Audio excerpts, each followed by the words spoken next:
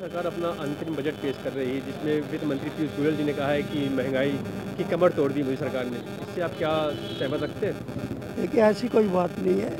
कमर तो खैर जो भी है इतनी नींद तोड़ी जाती है। जब ये बजट पेश किया जाता है तो सब तरफ़ देख के ध्यान से देख के हर एक के फ़ायदे के लिए किया जाता है। और मैं तो ये नहीं समझता कि कोई कमर तोड़ दी है। ऐसी कोई ऐसी महँगाई की नहीं कमर है। तोड़ दी उन्होंने कहा। कोई महँगा महँगाई तो हर गवर्नमेंट में आती है। हर एक गवर्नमेंट में पिछली गवर्नमेंट में उसमें बहुत महँगाई थी। उसके मुताबिक इस वक्त महँगाई बहुत कम हो रही है।